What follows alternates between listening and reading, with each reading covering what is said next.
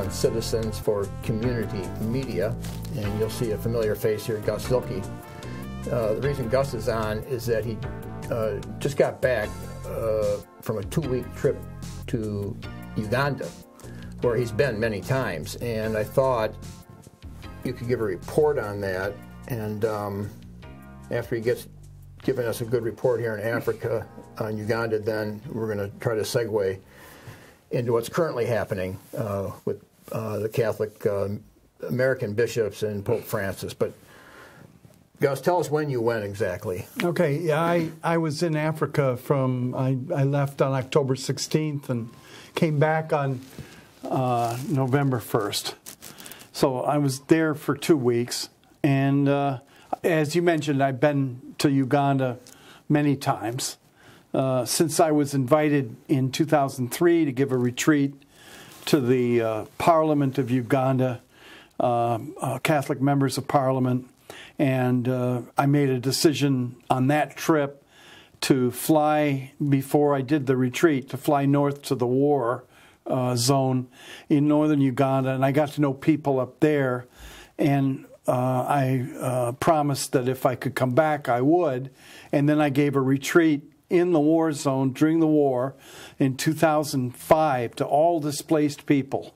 And they wanted to challenge the person who had, who had preached to their parliament to give a retreat to them. And the catechists, that is, the religion teachers in the war zone, wanted to know about suffering. So I gave the retreat on suffering in 2005 in Gulu, uh, Uganda. And uh, uh, by 2007, I was able to, to travel uh, to Paimol, which is way north of Gulu. It's right near the South Sudanese border. And it's the, it's the shrine to the two martyrs that died in Paimol, uh, who were martyred for the faith in 1918. And so this year I was privileged to go back to Paimol. Uh, uh, and this time it was to celebrate the 100th anniversary of the martyrdom of these two martyrs who suffered uh, for the faith in this uh, out of the way place uh, in uh, northern Uganda. And the story of their suffering has great meaning. In fact, there were 100, close to 100,000 people there to celebrate the 100th anniversary of the, uh, the death of uh, Daudi and Jildo, are their names. And what, they were a couple of young catechists, they were teenagers, and they had been trained in the faith and they wanted to go share the faith with the people of Paimol but the people of Paimol at that time were, there was a lot of political instability in Paimol during that time. Um, the instability was created in a number of ways. Uh, there were, in the north, there were uh, slave traders who were coming down into Uganda to enslave people and bring them back up through the Sudan uh, as slaves. There was also uh, against working against the slave traders were the colonial British, and they had taken over Uganda. But th- but that part of Uganda was kind of uh, the hinterlands. It was the very edge of their protectorate. So there were groups of people that were rebelling against the uh, colonial people, and and then there was uh, tribal differences, uh, not tribal, but clan differences between the clans living there. And so the priest in charge of the mission, the Italian who trained them in Christianity, said, Are you sure you want to go? I mean, uh, that's a very, very uh, uh difficult, dangerous, and indeed it was a chaotic situation. Why would you go? And uh, the uh, they said they would go because they had the support of each other and they felt the call of the Lord to go. So the priest at the Kitgum mission blessed them and said, Okay, you want to go share the gospel with those people? That's fine. Then they settled there and they had their own hut near the chief's hut in Paimol. and then certain people got certain leaders to uh, oppose them, and uh, uh, at, uh, they were taken out and they were betrayed. Uh, it's like almost like Jesus. They were uh, and uh, they were stabbed to death uh, and died there in, in October twentieth, uh, nineteen eighteen. So a hundred years later, the 100,000 people gather to honor Daudi and Jildo. And I was part of that, that 100,000 people. Uh, I was guest there, of course, of the people that I've worked with in northern Uganda for the past 11 years because I started a project in Uganda known as the Bosco Project, which is battery operated systems for community outreach.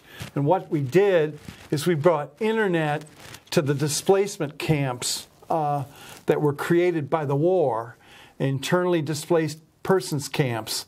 And when there was a truce, we rushed the deployment in in 2007. And during that time, uh, in 2007, uh, we deployed the Bosco project, and then I uh, uh, I have continued to make the effort to nurture that project along from the American side. We have a non for profit organization that supports the Bosco project in Bosco, Uganda, it's called. And uh, the project here in America is called Bosco Incorporated. It's a non for profit. And the goal of that non for profit, it's run by volunteers. I'm the, uh, the lead volunteer in that group.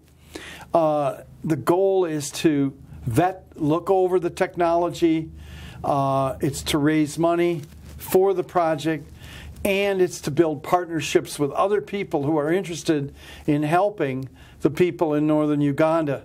We started with going to six displacement camps. The uh, the truce turned into a, a peace, thank God, and so it's now a rural communications project, and we have 47 locations where there's internet in rural northern Uganda where there was no internet. And uh, uh, we also do uh, some work in entrepreneurial training, and we're looking to do work helping with uh, uh, the question of sharing, uh, because we use solar panels uh, to power the computers. We're also looking at creative uses of solar power or hybrid power, where you're using solar and and uh, uh, uh other generated forms of power in order to uh, enable people who are off grid grow in their capability of being able to use electric power. So, and also we've done entrepreneurial training. Uh, with the help of some people at Notre Dame, they started what they called the uh, and uh, Accenture Corporation. Uh, uh, they uh, started doing some entrepreneurial training, helping people learn how to build and plan for businesses. So Bosco ha- has attracted other people, other partnerships to continue. And so, as the leader of Bosco, I was honored to go for the 100th anniversary of the Martyrs Shrine, and I took my pilgrimage to Paimol. And that is the reason I went primarily this time as a pilgrim. I also had to check on the project. But most important, I came as a pilgrim from America, trying to learn more about the, uh, the, the wisdom that I could learn from these two martyrs in Africa. Okay, um, so when we were younger, when I was younger, yeah. First of all, the, the church that I was raised in, Saint Cecilia's, mm-hmm. I think Saint Cecilia was a martyr. A lot of people went to churches. Saint Babel, where you go, is not. He was not a martyr. Right. But you, a lot of them are martyrs. Right. And Tertullian said the seat of the uh, church, or the was it what is it? The blood of the martyrs is the seat of the church, right? Right. So, how important is it because you were there to form your identity not only in the martyrdom of Christ, but also in martyrdom of your locale. How important is that to strengthening your Christianity? Do you think? Well, actually, if it, martyrdom is properly understood as the loving offering of a person's life, even to the point of death, because they love Jesus and they put Jesus ahead of all their other concerns, uh, it's very important, right? But, but the word martyr is uh, a witness. Yes. Yeah, martyrium means witness. So, so when they when they kill your witness, that's a type of a martyrdom, right? Because the right. witness is no, being the, killed. the church has always made a distinction between red martyrdom, which means you witness to the point of dying for what you're saying, and then there's something called like white martyrdom, where you don't die, but they severely limit you. I mean, okay, kind of like Athanasius was exiled for preaching the true faith, right? Athanasius against the world, that kind of thing. He was martyred as a white martyr, right? Right, but there's white martyrdom right here. Let's say Uh huh. we're on, uh, we're going to put this on the local public access television, but this goes on YouTube. Right. Most people are, know it by YouTube. So YouTube censors. Okay. So if they're censoring us because of the gospel, because like Saint Stephen accused uh, his audience, you could say, he he accused them of crucifying Christ, and then he was stoned to death because of what he said. And Jesus said, They hate me because I testify about them that their deeds are evil. So if you say something even on YouTube that's required by the gospel, it's, it's, it's of the essential of the gospel that you say it and you get censored, is, is that a type of martyrdom? I I'm not going to jump to that word for it. I think it's a perhaps I would go. It was an it's an abuse of political power on their part as an American. I want to answer that one as an American. My view of free speech is that in almost every case, the remedy for speech you disagree with is more speech. It's not closing down the speaker. I mean, there are very unusual cases uh, where that might have to happen, but those are those should be the absolute exception. And I think I agree with those who say that those exceptions have to be figured out by the court. I mean, just like uh, they did uh, in that famous case, I believe, under Holmes. You know, you can't yell fire in a crowded theater using Right. that kind of uh, thing. But that that's up to the courts. But- but the Soviet- outside the courts, outside that, uh, I'm for freedom of speech and correcting speech I disagree with with more speech. But couldn't you argue that the Soviet Union had a constitution and on paper they had freedom of religion?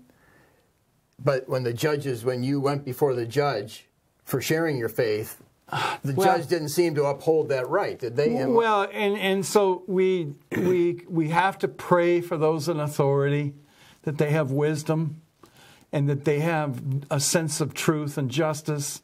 And if there's a problem, we just keep working at it, proclaiming the truth and justice. We still have the right to uh, petition our government for a redress of grievances. But, okay. But so I'm not. I, I I'm more confident that uh, I'm I'm not. I, there's some inconveniences here, but I'm not going to jump to say that suddenly the inconveniences are martyrdom. I- that's too far. no, no, okay. What, uh, what I'm Don't you say- think? What I'm saying is, America, Yeah. his, its identity is in large part the Fourth of July in 1776. We don't have martyrs per se. Uganda, they don't have a revolutionary start like we did. Their their identity doesn't fall back to a, a 1776 revolt. Their identity is where, would you say? Well, uh, they identify with martyrs in Uganda. That's exactly true. They're uh, in the south. They have a huge celebration of the 22 martyrs that died, led by Charles Lwanga, who was another catechist uh, in the south of Uganda, and that happened in the 1880s or late 1870s. I, uh, I I'd have to get the exact time right, but Charles and his companions stood up to the uh, the Kabaka, who was their king, and the, their king was asking them to do a number of things that were against Christian teaching, and they refused.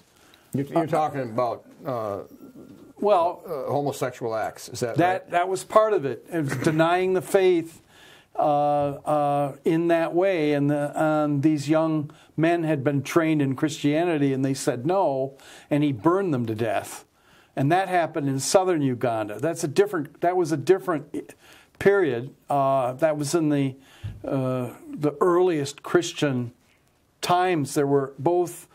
Uh, Anglican martyrs and Catholic martyrs would in that group. Mackay, Mackay of Uganda, the famous. Uh, Well, right. Uh, there were there, there were Anglican missionaries, and there were Catholic missionaries, and they and both their groups got martyred. Mackay would have been Presbyterian. Oh, he was okay. But the point is that uh, uh, the uh, Anglican uh, there are Anglican martyrs and Catholic martyrs in the Uganda martyrs group. They may have been uh, uh, uh, Anglican with a. Uh, uh, a flavor of Mackay. I don't know. I don't know But enough they, about but, okay, that. we have Fourth of July. They have Martyrs' Day that they celebrate every year, right? Right. They uh, the southern in southern Uganda, and Ugandan Martyrs' Day is June third Every year. every every year, and and they have more than a million people at their Martyrs' Day celebration. And that, Well, what is their Fourth of July? How do they celebrate their? Do they have a Fourth of July type of Uh, I, I'm, Independence Day?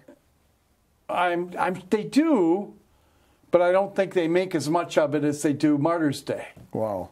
Um, Martyrs' Day is the big civic religious celebration in Uganda, and they all come together for that. Okay, so we don't have anything like that, right?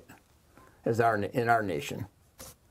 Well, I I mean, I'm just trying to see what, what makes Uganda unique and what we can learn from Uganda. Because you've always said we need to learn right. from Uganda. We need to learn from Africa, and then we need to learn from Uganda. And you were always going over there back and forth, trying to, you know, draw Right. spiritual lessons. We were helping them materially, and the Right. idea is they're helping us spiritually, isn't that? Well, yeah, that to me is a, is one way to formulate what I call the Uganda blessing.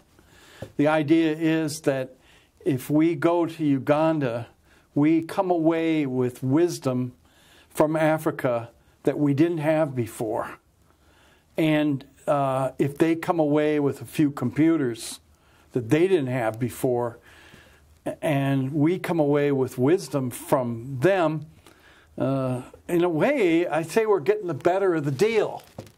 Well, do you think But the wisdom I- has something to do with the martyrdom thing? I mean, what, I mean, Well, what- of do you th- course, of course, the wisdom of God is always revealed in the cross, right? Like St. Paul said, that if you want the power and wisdom of God, you, you have to look to Christ crucified, to Christ, the martyr with a capital M. Yeah. Okay, so how do you think that applies? How would you? How, how do what do you? How do you take that and a and make it? You know, In flesh it Yeah. in the history of Uganda. Well, And how do you how do you think America? What can America do with that? Well- you're coming back. How can you? Okay, you're going to now preach to Americans. You were over there preaching to the Parliament, preaching in Northern Uganda. You're going to come back now. Preach to us.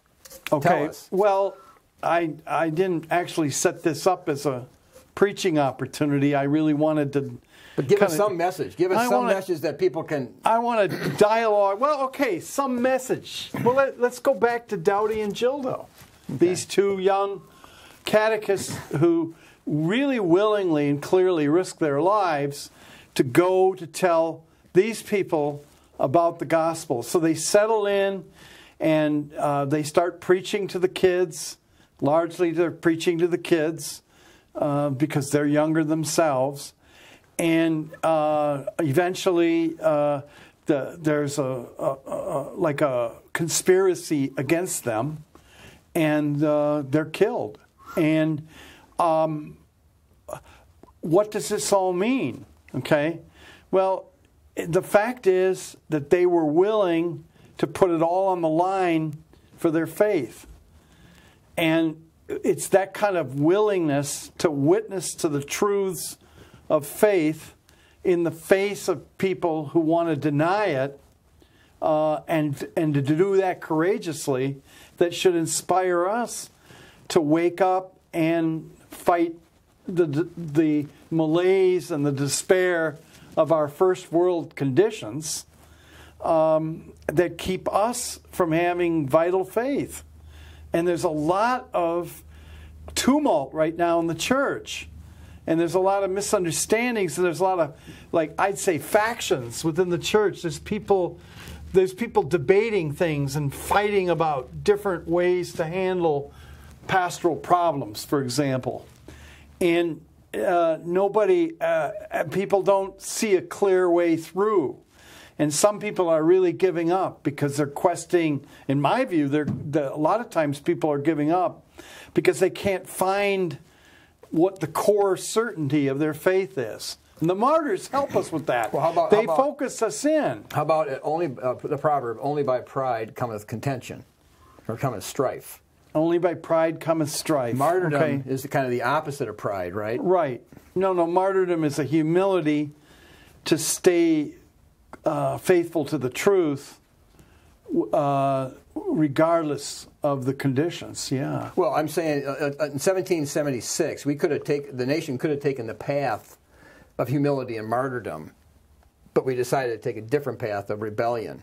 And, well, and it seems like that's always a choice for people. Yeah, and of course that's the, that's an ambiguous um, um, example. Uh, I mean, there's ambiguity. I, wouldn't you be able to argue that there were good people on both sides of the American Revolution? Good, good. I mean, uh, there was. You could say there was good Nazis. I mean, I mean, well, using not the word Nazi in a, you know its normal normal understanding. Okay, but.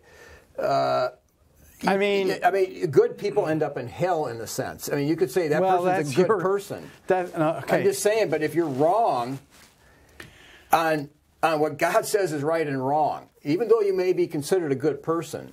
Um, right, but you can be in error and you can still cooperate with people in error to promote peace.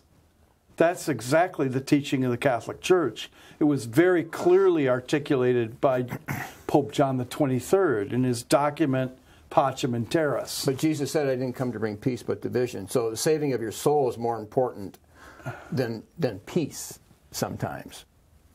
Uh, no, the goal of saving your soul is to bestow the peace of Christ on the whole world.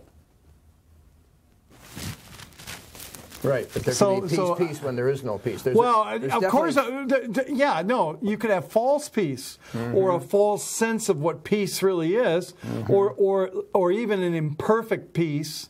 Like you could have peace that was established by force, like uh, Pope John the Twenty Third talks about. Well, you could have peace by you, saying, you, just don't mention Jesus here, and then we'll have peace. Well, peace um, without Jesus is a phony peace. When, isn't that the Christian position? Uh, when, when Jesus himself is compromised, where he's not allowed to be at the table, but you got peace. Uh, that that that it depends on what conditions we're talking about. But yeah, I I want freedom for Jesus, of course, mm-hmm. and so does the church. I mean, St. Paul no, said, "I was not. I, I, I, was, I didn't shun from proclaiming you the whole gospel." Right, which meant and, every sin that needed to be condemned, he condemned it. Well, right, but uh, there's a hierarchy of concerns uh, in how we we promote the truth too. I, and what I mean by that is, uh, like when Kennedy and Khrushchev were in their private um, correspondence that no one knew about at the time, or very few people knew about it, and uh, uh, uh Khrushchev wrote him back and said, you know, we're all on this ark together. But, and indeed, both the clean and the unclean animals were allowed on the ark. And I and Kennedy wrote back. He says, "I really like that. Uh, uh, what you said about the ark."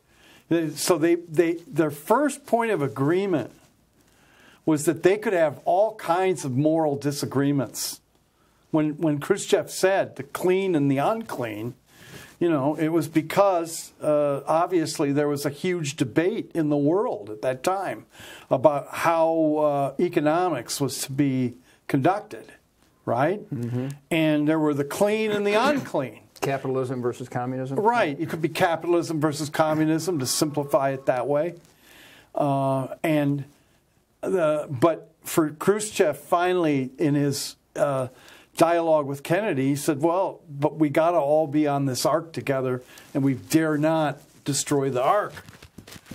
And it seems to me that, that that's a teaching there that's very important here to the moral problems we're looking at. Well, let's go back. Let's go. Yeah. The Catholic Church was started in the sense that when the Roman Empire was falling apart, the Catholic Church kind of had to carry a burden that it wasn't necessarily instituted for, right? Uh, right. And That's that- a that yeah. That there's uh, there's a whole historical problem of what we call the Constantinian Church. Right. Yeah, yeah. Okay. And so, in, in a sense, they still feel a burden to be uh, workers for world peace. Right, and and to do it the way uh, in, to do it in wise ways. Uh, of course, that's a that's the uh, that's the part of the vocation, especially of the papacy.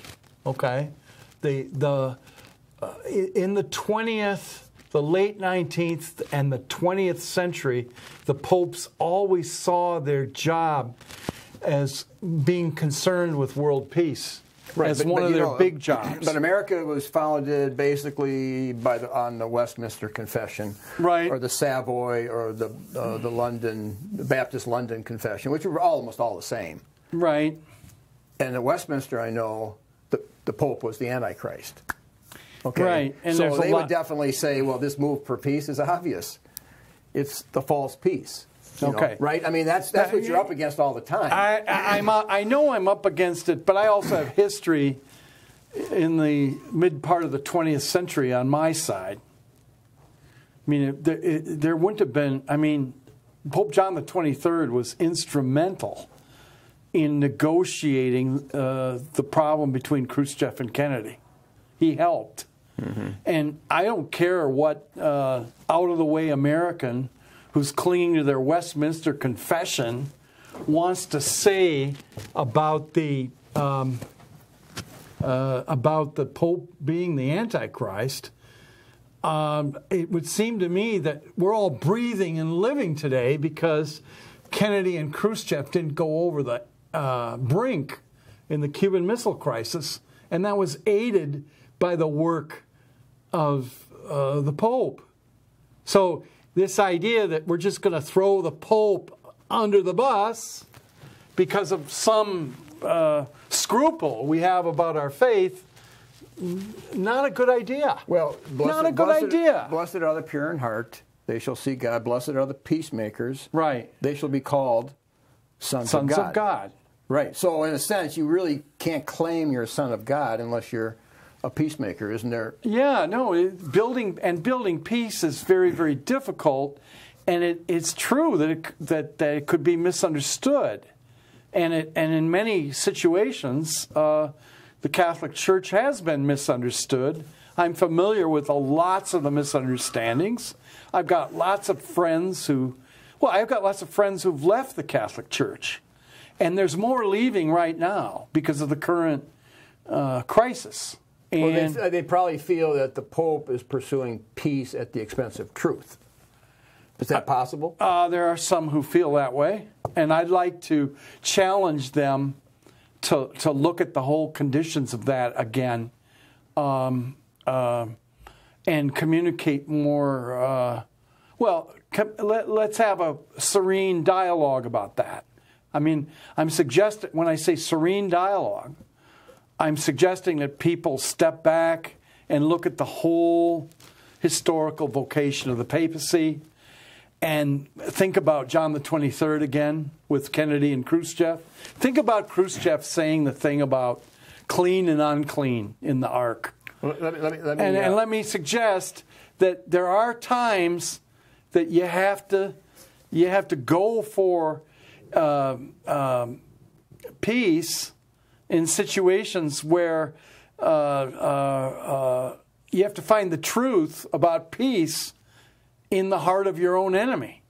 That and that's that's the Gandhi insight. Well, I, I met uh, Yeah. Archbishop Odama, right? Right, you met Archbishop Odama, who's the Archbishop of Gulu Yes. in U- northern Uganda. Okay, so a lot of people are complaining about the Catholic leadership in America, let's say especially maybe. Right, You you are very fairly intimate with some of the, the Catholic leadership, in Uganda. right? Yeah. Was there anything we can learn from them? I mean, the way they saw things. There was anything that you would say, yeah, I, I think that was a good quality that maybe we are not so strong in, or, or you don't want to go there. I mean, Well, no, I no, I I think you uh, you're hitting on something that uh, might be worth uh, telling a story about. With Archbishop Odama, he chose at the at the point in the war to risk his life and go meet the rebels unarmed, just in his archbishop uh, uh, clothes, which in in uh, in Uganda, an archbishop, when he's in his official clothes, he's it's it's white and he's got the cap and you know uh, not like he's ready for liturgy, but he has these official bishop's clothes. Uh, and of course, in America, we don't. We uh, uh, a lot of people don't dress up that much, but in in Africa they do. And he was in, and he goes out to the wilderness, uh, unarmed, and meets with the rebel leaders and starts out the conversation with this line: "Kill me if you must." But I tell you, if you do kill me, you'll be killing your own father. I come as your father. And they understood the import of that, and they didn't kill him. Tell the uh, people that may be watching what the rebels were about. Well, the rebels were uh, involved in an insurgency against the government of Uganda, and they were fighting the government's army, which was, uh, uh, and they were, uh, you know, that it was a very, very messy war of insurgency. But they were going into the villages and, And- snatching up the young boys, They were they were kidnapping stealing children. them from their fathers. Yeah, they were kidnapping children and uh, um, pressing them to service in their turning them into monsters as best as they in- could. into their uh, into their army. That that's absolutely right. They were doing things against their own people like that, and yet uh, somebody had to open the negotiations between them and the government. so why do you think they decided not to kill him? Good question. And I mean, uh, probably because it was discerned that uh, that this fight just couldn't go on forever. And they thought he was genuine. Oh, they absolutely. Everyone knew he was genuine.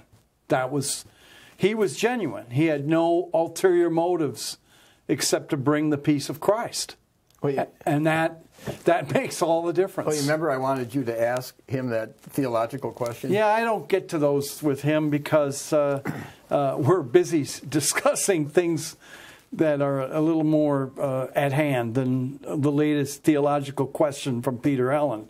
Sorry, Peter, but the but the thing is, is that on, on, maybe the next time I see him or the next time he's in the United States, you can ask him your theological But questions. from my experience, he's the one that would be interested in that question. Well, I, let's leave your theological questions in parentheses and continue on with the question you raised about why is the uh, uh, what do the African people and their clergy have to teach us? Okay, that's a good question. Let's stay there right now.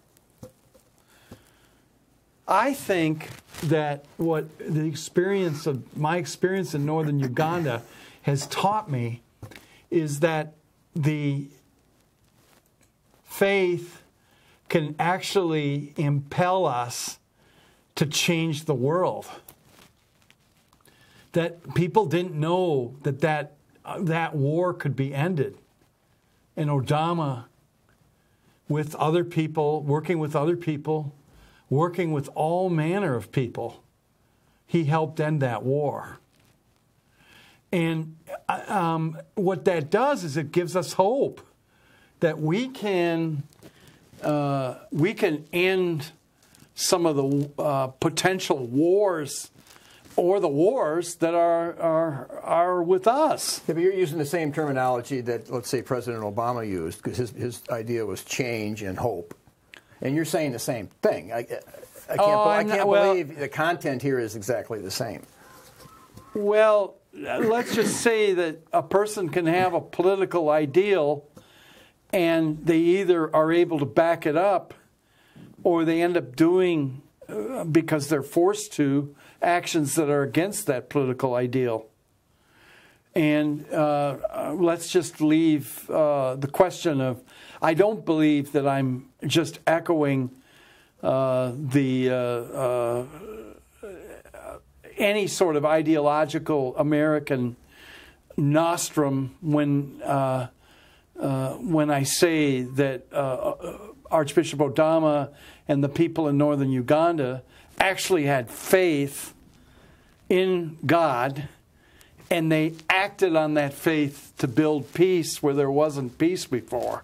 But their ultimate goal is changed Is is that he wants them ultimately to repent and accept Jesus Christ as their as their um, as their Lord. I mean, isn't that kind of what he's ultimately hoping? Even though I think the, the, the head of the Lord's army would have said he was a Christian, right? Or what would he have said? Well, uh, well, yeah. Actually, the uh, uh, they they would make the uh, they they'd make arguments that they're uh, uh, trying to f- follow God, but um, obviously uh, they were not following God if they were uh, kidnapping children and things like that. Right. In other words, the end The does end not does- justify the means, and that's a Christian principle. Yeah, the end doesn't justify the means, and yet um, once once you've got a whole bunch of your children that have been drafted into the um, rebel army, uh, and so they're all mixed together now, the clean and the unclean. What do you do? Do you just do you just perpetuate the war? Or do you work on a, a program to build peace? Well, the people in northern Uganda realized, and their big leader was Archbishop Odama, that they had to build peace if they wanted to even get some of their children reconciled back. Well, how about? I mean, they said uh, they had a poll several months ago that 30 some percent of Americans believe that we're going to have a civil war. Okay, well, we're already in one right now, okay, because Thanksgiving's going to come up, and probably at most tables, somebody doesn't really want to talk to somebody because that person is Democrat and the other one's Republican or some issue. And so it is getting really uh, more and more intense. Right. So definitely, what you what they went through could maybe there's something to apply here because now we really need to be reconcilers, right? Right. yes. Um, indeed, one of my favorite uh, lines. I mean, and, and uh, this requires some thinking, so people can ponder it historically. But I have Archbishop Odama and Thomas Paine arguing inside my soul because I'm an American. Thomas Paine, in his book Common Sense, says there's no reconcilement. Right? When, when hatred, he quotes uh, Satan in Paradise Lost, and something to that. When when hatred gets this intense, reconciliation is impossible. right. And that's a quote He's paraphrase out of uh, out of Milton. yeah. Okay. So the so the thing is is that uh, and for Archbishop Odama, um, redemption can occur and reconciliation can occur, and it can be a miracle, but it can still occur. And so, if we're honest about our current condition of our souls, we should be in touch with both sides. We should be in touch with the with the Christian uh, aspect calling us to further forgive and reconcile. We should also be in touch with the residue of our American experience that that pulls us in the other direction. And we should know that there's this pull going on uh, in all our political discourse. And it seems to me that the, the solution to our problem is is to go into the to go where the people we most disagree with and discover the truth that they have for us. But, but you, the reason you do that is probably you're uh, imitating your dad, because you would you used to say he'd walk around the house because uh, he was raised Lutheran or Lutheran grandfather like mine, okay, and Luther uh, didn't like the Book of James even to the point that he, you know, took it out maybe, and. Uh, so what was your what were the two phrases? Your, one was you see then how that by works a man is justified and not by faith only, right? Versus you faith see, alone. He he used to say, faith alone is necessary for salvation. Faith without works is dead. And he used to he used to say those two together, and he allowed the dialogue to go on in his soul. Well, I, I figure that I got to allow the dialogue between uh, Thomas Paine and Archbishop Odama to go on in my soul. I'm really hoping that Archbishop Odama wins, but I'm not being presumptuous about that. I, I can actually see the Thomas Paine side of my American experience. But obviously, America is more infected with the Thomas Paine thinking than Uganda, right? Well, yeah. But but Uganda historically, being, but Uganda is being tempted to go that route, wouldn't you say? Um, or what, what did you know? What, what is the challenge of Uganda? Is it they're being tempted to to uh, give ear to the ideology?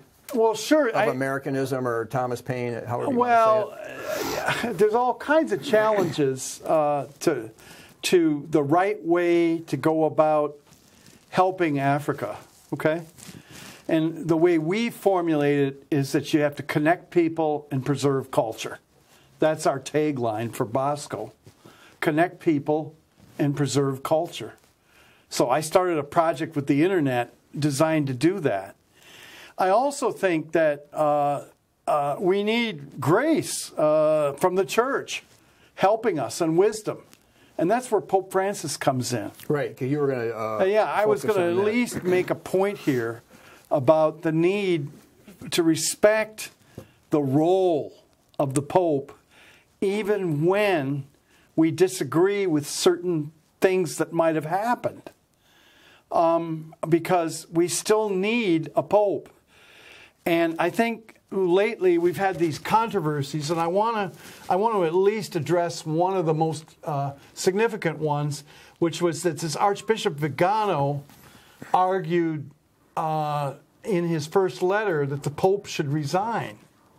And I think when he said that, he shut down the dialogue that could have occurred on all the other things he said in his letter. So, because if I if, I disagree with you, Peter, just what you said before about the problem with YouTube in certain situations, if if I disagree with you and make my disagreement that you should just be shut down, that you should just resign, that you should just leave, then your response to my position is going to be much more difficult to carry on. Whereas if, if I disagree with you in a, uh, without saying that you should be totally shut down, then there's, there's room for discussion.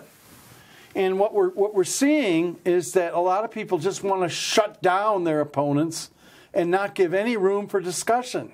I'm pleading with people to look to the American wisdom about the First Amendment and the wisdom of our better legal scholars who would say that the solution to speech you disagree with is more speech. Well, what do you think Jesus grew up in? Of course, this is my, you know, my mantra is yeah, Jesus in the temple at age 12, and he's in there for uh, okay he's in there for three days, right? With no indication he was going to leave on the fourth day if right. his mom hadn't came. So, but right, this under, understanding Jewish dialogue, it could have been intense. Oh, I'm sure it was. But they didn't just excommunicate you because you had a different viewpoint. No, they allowed the discussion to go on, and that that of course is the exact uh, uh, point that I wanted to make about about that. And indeed, my friend John Dunne has has a uh, a really beautiful uh, image of this. He calls it passing over. And of course, my friend uh, Joe Bajakis, the theologian, says that passing over is dialogue on steroids. And of course, I I like that because what we really do need to have dialogue on steroids right now in the church and in the world. If we don't, we're finished. I mean, so my recommendation to people who are worried about the people in their families that disagree with them on Thanksgiving is come on, let go and talk to them, hear them out. No matter what their position is. Yeah, but one side may believe that God has never spoken, never revealed himself, and then the other side believes, no, he's revealed himself in the scriptures all throughout. So isn't that a divide that's almost impossible to bridge? Well, not for John Dunne. Okay. It wasn't. When he says here, he says, when I do pass over to another person, I do not straight away come to see the other in a new light. I come rather to see what the other sees and feel what the other feels. That's what passing over is. Entering into the standpoint of another, seeing with another's eyes, feeling with another's heart. It's like going from the northern to the southern hemisphere and seeing the stars in a new constellation in the night sky. There are stars that can be seen only in the northern sky, as the North Star itself and the constellations of the Big and Little Dipper. And then there are those that can be seen only in the southern sky, as in the constellation of the Southern Cross. And then there are those that can be seen in both, as the constellation of Orion and the Hunter. Thus, when I travel to the southern hemisphere, I come to see stars and constellations I have never seen before, although I see also the continuity and the overlap of the northern and southern sky. So, too, when I pass over, this is very important. When I pass over into another's life, I see events and patterns of events I have never seen before although I see a continuity and an overlap of my life and, uh, and the others. I come by traveling to see the whole sky over time and all the stars that are visible to the naked eye. So too, I come by passing over to see human existence as a whole and all the things that belong to a human life. That is wisdom. That is a, is a, is a formula for dealing with reality. And without that wisdom uh, operative, uh, we're going to be sunk. Now, let me uh, go back to Pope Francis for just a minute. Uh, uh, please, uh, I'm making an appeal to, today. if people want to challenge me on this, feel free to email me at my own email address, and they're going to run it up on the on the screen at some point at toward, at this show ends. But um, what I want to say about Francis is that this Archbishop Vigano said he should resign at the end of his like near the end of his first letter, and that then Francis answered that by saying, "I'm going to be silent on this." And what I saw a lot of Americans do in the Catholic media, I saw personal friends of mine uh, uh, say these things in public against the Pope. It just grieves me because they don't understand. First of all, Francis was not saying that we're not we're to be silent about the injustices and abuses in the church by the clerics. He's he's fought the clerics. Read him. He's talked about the problem of clericalism. And he's talked about the problem of abuse. But but and he was but he was saying that in light of the fact that somebody lunged after his whole office and said that he should resign, he will be silent about that. And, and it just seems to me Americans have just gotten out the pitchforks against Francis unjustly rashly. So, rash judgment and um, uh, uh, um, uh, false judgment have, have completely uh, taken over sections of the media about the Pope. And the, the tragedy of the moment is that we can't hear the Pope uh, witness to us about the things that are going to bring us peace. We can't hear the Pope. We can't hear John Dunne. We can't hear the, the people that could give us life. So they, they poisoned the, poisoned the well. They poisoned the well, and they've done it accidentally. They've often poisoned it on on the on the very basis of trying to save the well. But that that's what happens. That's what happens. Like like the story of Moby Dick, where where Captain Ahab dives after the white whale, uh, uh, but destroys himself and the ship in diving after the white whale. Or that story in uh, um, the Man for All Seasons, that play, where where Thomas More is talking to Richard, and Richard says, "I would cut down every law in the realm of England to get the devil." And what does Thomas More say to him? Why, Richard, what will happen now that you're alone and you don't have any laws to protect you, and it's you and the devil? Who's going to win? Well, it's the same kind of thing. Americans are going, I want revolution against the Pope. I want revolution. I mean, in, in their hearts, they're saying it in different ways. And and it's like, wait a second, people. Well, isn't that Tom, you don't, isn't that Thomas Paine speaking yeah, through him? In a way, yeah. In a way, yeah. And so what we have to do is back down, uh, g- get our senses about us again, and, in, and beg God for wisdom and ask for the kind of wisdom that John Dunne was talking about of passing over. This is, this is the only wisdom that's going to help us here. And, and, and in order to help us on a, on, a, on a more practical way, we have the First Amendment. You and know, the, the remedy to speech you don't like, more speech. You know, you know what this is like? It's what? probably a bad example, but I have this bad toe, so I have to go, you know, and I'm on Medicare, so I can go to these doctors. Normally, I would never have the luxury. Well, I've had to go to five doctors. Well, the first four were wrong. Okay? Wrong advice. In other words, you got to have patience to get the right wisdom. See, the right wisdom may not be revolution. Okay? You go, that's an option, and you go, nah, maybe I shouldn't go that one. okay? You know, let's try this one, okay? and maybe you need to slow down and get five counselors because right. because the four may have, like it says in the book of Sirach, be careful who you get a counsel from. Right. Because they all have a motive. Right. See, be, yeah. So the one advising you for revolution, you think he has your interest in mind?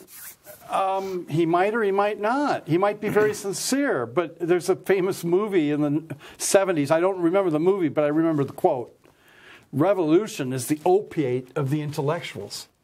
In other words, intellectuals love revolution. It's an opiate for them. That that I think is really an interesting insight. And I was told that in Madison, Wisconsin. Hmm. By, by a friend when we visited there in 1971. So I remember that, that, that revolution was in the air, like Bob Dylan says revolution was in the air in 1971 in it's Madison, Wisconsin. There. It's still in the air. Okay, but the point about that is, hey, step back, contemplate, pass over, listen, step back into yourself, ask for wisdom, move on wisdom, listen to people like Archbishop Odama. And, and try to quiet the voice of Thomas Paine a little bit. That's what I'm trying to do, personally. Like I said, you know. And, and as far as the Pope goes, I want to give a challenge to uh, people if they really if they want to dialogue with me, I'm open to it. Uh, email me. Uh, I'm going to give my email at the end of this program. You can email me, and we'll talk about the church. And I especially want to reach out to people who have given up on the church or have given up on Christianity.